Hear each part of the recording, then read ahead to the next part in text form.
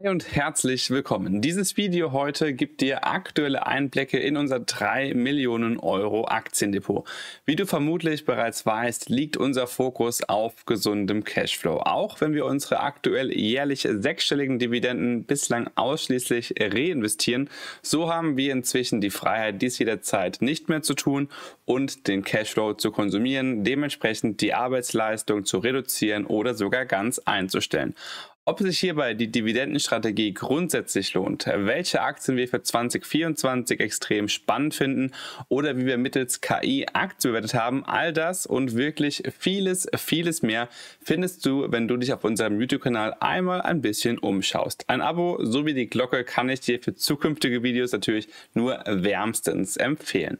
Heute gibt es nach der letzten Aktie auch noch ein paar Ausblicke, also bleib bis zum Ende dran und sollte dich eine Aktie mal so wirklich dich gar nicht interessieren, spul einfach ein paar Sekunden vorwärts und dann gibt's schon die nächste Aktie.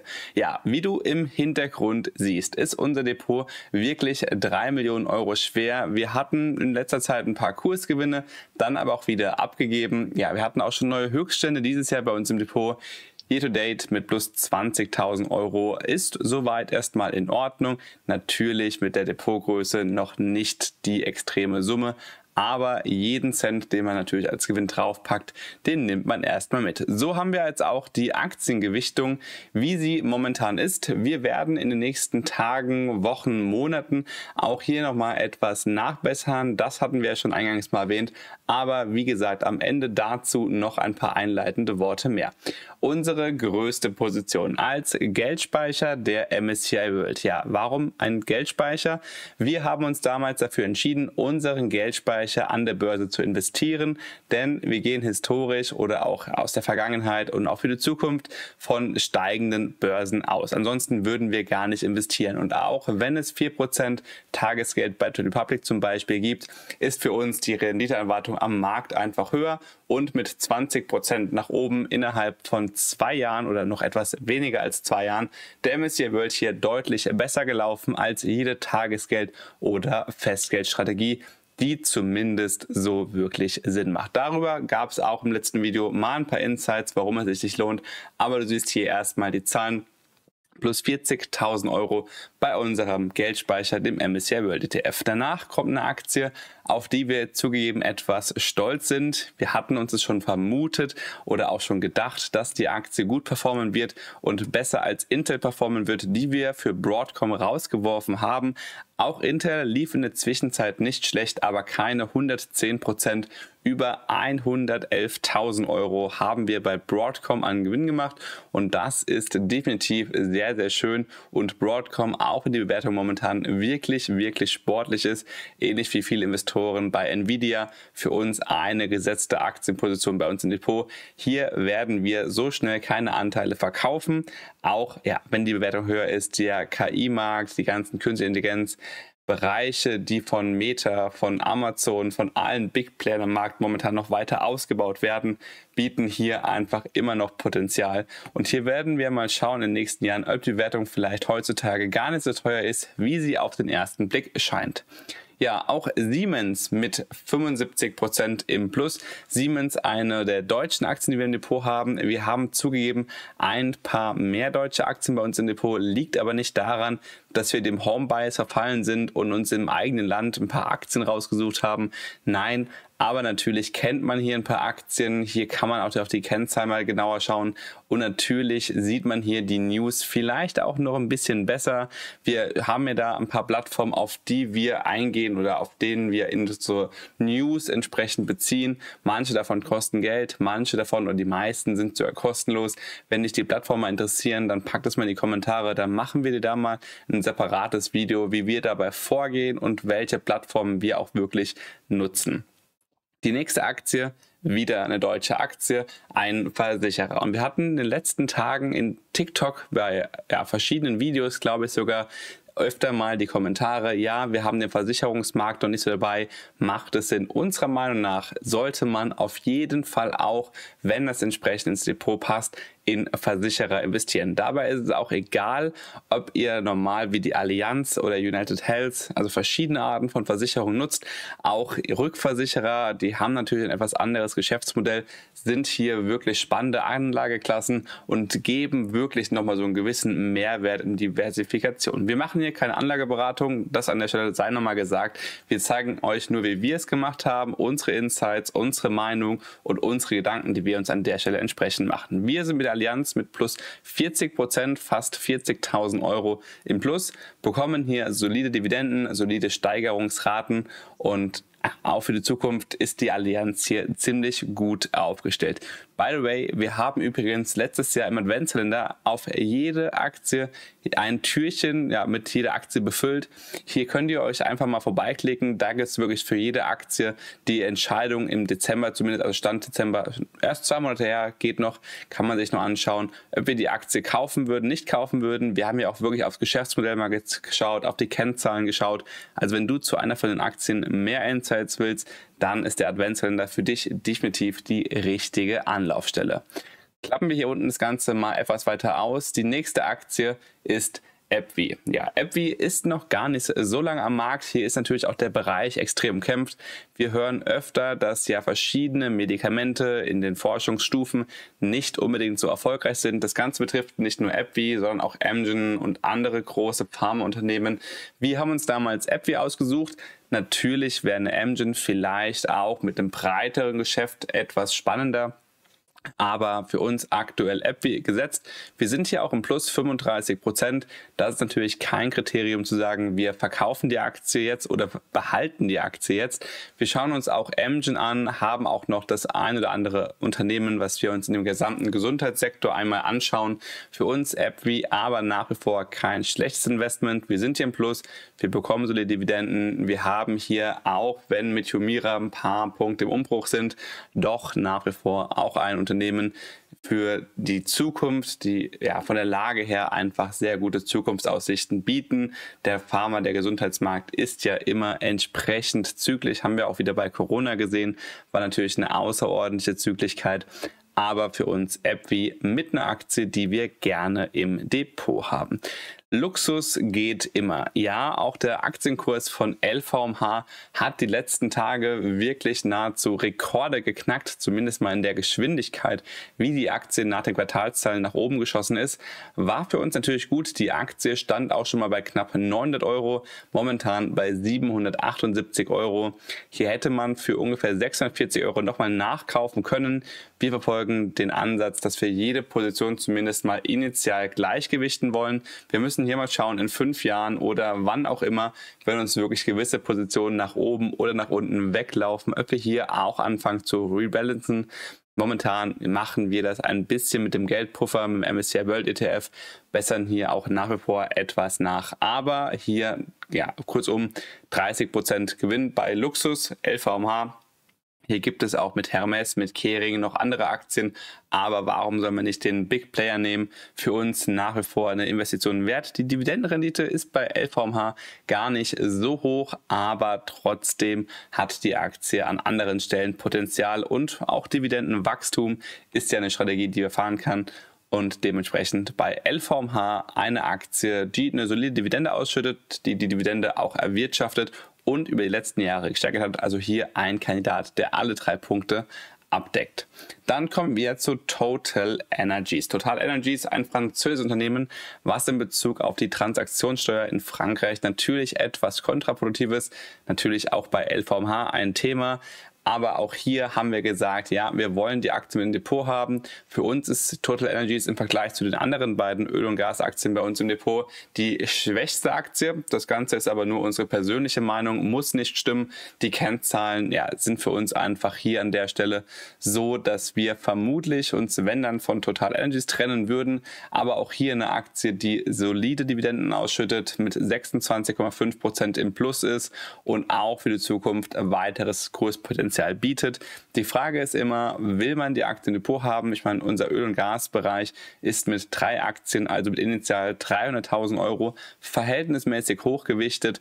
Wollen wir das Ganze noch? Hier gibt es einfach so die Überlegungen, dass wir uns vielleicht von Total einmal trennen. Nichtsdestotrotz haben wir noch zwei weitere Aktien, zu denen kommen wir dann auch gleich. Die Deutsche Post. Die Deutsche Post aktuell 44 Euro pro Aktie. Bei uns in Depot bedeutet das, wir sind mit 22.300 Euro im Plus. Ist soweit erstmal ganz schön. Aber hier haben wir natürlich eine Aktie, die im letzten Jahr zwar gestiegen ist, zwar auch gut gestiegen ist, aber die historisch auch schon etwas teurer geworden ist. Wir haben den E-Commerce-Bereich ganz klar. Wir müssen hier weiterhin mal schauen. Die Deutsche Post will sich ja eventuell auch langsam mal ein bisschen weiter öffnen Richtung DHL Group, Richtung ja, internationales Geschäft, Luft- und Waren, Fracht, das sind auch wirklich hier die umsatzstärksten Segmente bei der Post. Also nicht nur das klassische Brief, Postkarten, Paketgeschäft, was man auch innerhalb von Deutschland kennt. Prinzipiell ein gutes Unternehmen, natürlich eine Peer Group, auch eine UPS, eine FedEx, keine schlechten Unternehmen. Wir haben hier wieder Deutsche Post mit im Depot, die uns natürlich ähnlich wie alle deutschen Aktien im Mai wirklich in Summe sehr, sehr starke Dividenden auswerfen wird. Aber wenn dich das Thema Dividendenauszahlung für ja, jeden Monat generell interessiert, dann lass uns auch da gerne mal ein Abo da, denn wir sprechen da sehr regelmäßig drüber. Und im Mai wird es einfach mit über 25.000 Euro vermutlich wirklich ein sehr, sehr guter Monat werden. Ja, die nächste Öl- und Gasaktie Exxon Mobil etwas schwächer, könnte man meinen, nur noch 19% bei uns im Plus. ExxonMobil muss man aber dazu sagen, hatten wir damals initial mit 250.000 Euro im Depot, haben uns dann hier von verschiedenen Aktien wirklich getrennt. Wir haben uns von 10 Aktien auf 25 Aktien entsprechend umstrukturiert, haben hier massive Gewinne, also über 100.000 Euro realisiert. Dementsprechend, ja, sind diese 19 Prozent, die hier noch stehen, etwas verfälscht aber natürlich Unternehmen, was nach wie vor weltweit sehr, sehr gute Umsätze erzielt, was wir auch gerne im Depot haben. JP Morgan, das nächste Unternehmen, eine Bank, die auch mit der Zinsfantasie zwar träge, aber positiv reagiert hat. Jetzt ist es natürlich so, dass die Zinsen doch gar nicht so schnell fallen, wie viele erwartet haben. Ist für Banken nicht unbedingt schlecht. Ja, Banken können verdienen, wenn die Zinsen weiter steigen, wenn die Zinsen oben sind, aber natürlich auch wenn die Zinsen nicht so hoch sind. Bei hohen Zinsen verdienen Banken tendenziell etwas mehr und so auch die größte Bank JP Morgan. Persönlich müssen wir sagen, hätten wir uns etwas mehr als 15 Prozent erwartet, aber 15 Prozent sind nach wie vor trotzdem eine sehr, sehr gute Rendite und wir sind froh, auch hier den Bereich der Finanzen mit JP Morgan bei uns im Depot zu haben. Eine Starbucks. Starbucks ist in den letzten Wochen und Monaten auch gar nicht so gut gelaufen. Wir hatten hier das Glück, dass wir deutlich günstiger einkauft haben, war knapp 10 Euro pro Aktie günstiger, dementsprechend noch hier 15 Prozent im Plus. Aber ja, Starbucks ist einfach ja, vom Konkurrenzprinzip her momentan ein bisschen ausgebremst. Natürlich, die Zinsen sind hoch. Man kann im Franchise nicht mehr ganz so einfach ein neues Restaurant eröffnen, beziehungsweise ein neues, ein neues Lokal, ein Café eröffnen. Aber Starbucks ist international vertreten, hat sehr, sehr gute Franchise-Modelle, kann hier Kosten anheben, hat ein sehr breites Produktportfolio. Natürlich muss man hier wieder generell schauen, wie ist die Konsumlaune momentan in Deutschland, auf der ganzen Welt eine höhere Konsumlaune bei vermutlich sinkenden Zinsen könnte eine Starbucks bei den Absätzen wieder in die Karten spielen und die Margen sind bei Starbucks und bei McDonald's kommen wir später auch noch ohnehin gar nicht so schlecht. Deswegen auch eine Starbucks nach wie vor sehr gerne bei uns im Depot. Auch hier würden wir eigentlich für das laufende Jahr erwarten, dass die Kurse zum Jahresende etwas höher stehen, solange wir keine extremen ja, Unternehmensnachrichten oder auch globalen Nachrichten bekommen, die hier gegenläufig sind. Und dann, Shell ist unsere schlechteste Öl- und Gasaktie, aber gleichzeitig unsere liebste Öl- und Gasaktie. Warum denn das? Shell ist die Aktie, die ja in Corona die Dividende extrem gekürzt hat.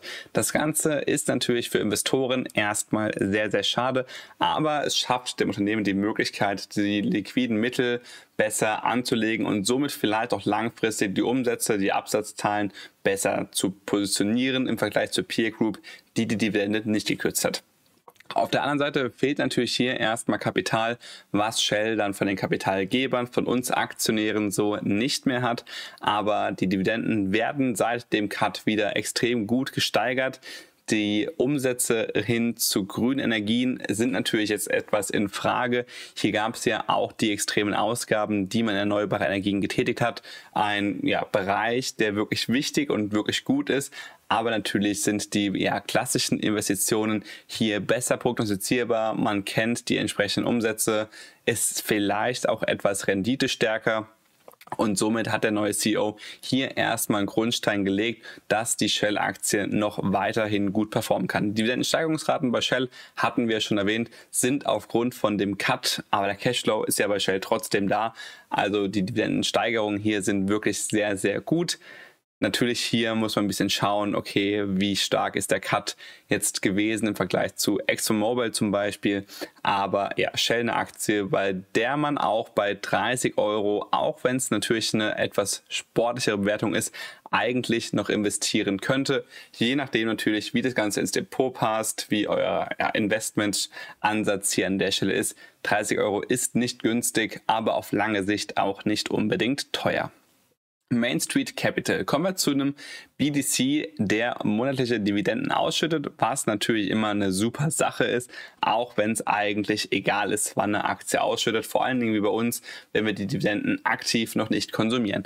BDCs haben etwas sehr Probleme, wenn die Zinsen stärker sinken, denn dann kann es für viele Unternehmen wieder einfacher sein, sich bei Banken zu finanzieren. Prinzipiell sind ja BDCs dafür da, für kleine und mittelständische Unternehmen, die sich bei Banken gar nicht oder nur sehr teuer finanzieren könnten, Kapital zur Verfügung zu stellen. Dementsprechend gibt es hier auch einen etwas höheren Aufschlag auch dementsprechend bessere Umsätze. Mit 41,84 Euro ist die Aktie ziemlich nah an ihrem Alltime-High, wenn nicht sogar ja, zum Greifen an ihrem Alltime-High.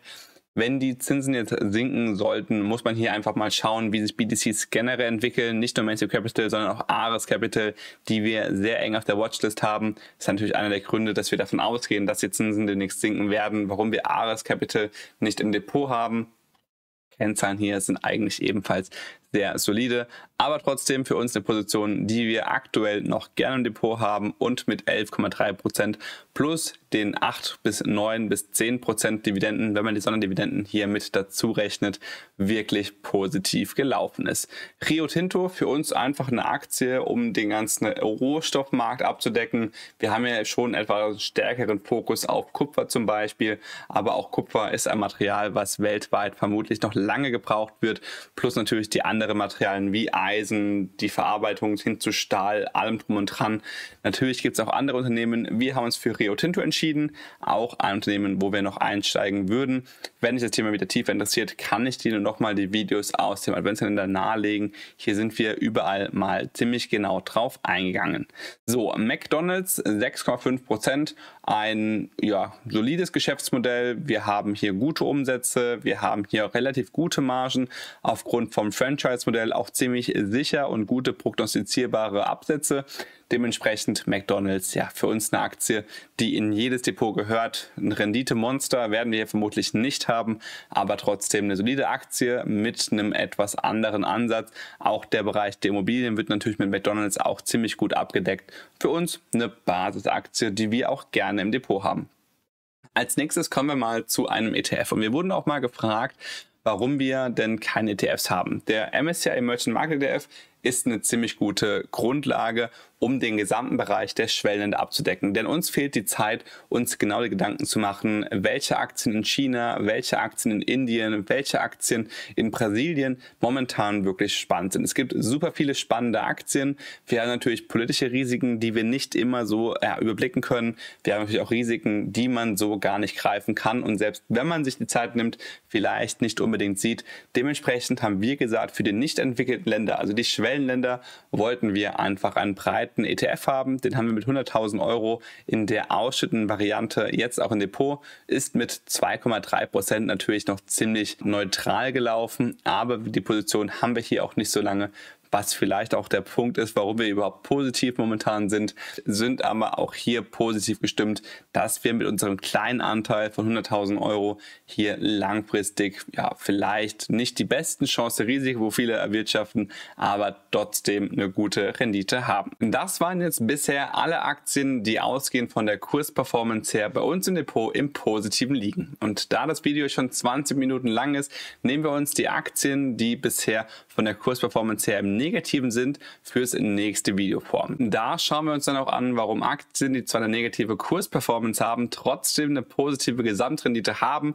Wir werfen auch einen Blick auf den Investment Case bei den Aktien, die im Negativen sind, denn bei Aktien, die etwas runtergelaufen sind und da haben wir doch den einen oder anderen Kandidat bei uns im Depot, kann man mal etwas genauer hinschauen, wie die Kennzahlen sind, wie die Zukunftserwartungen sind und hier natürlich dann auch mal etwas umstrukturieren. Wir hatten eben auch schon ein, zwei positive Aktien dabei, die wir auch vermutlich in nächster Zeit einmal etwas rauswerfen werden. Und insgesamt war das dann auch das letzte Depot-Update in dieser Form, da wir uns ja zumindest geringfügig umstrukturieren werden.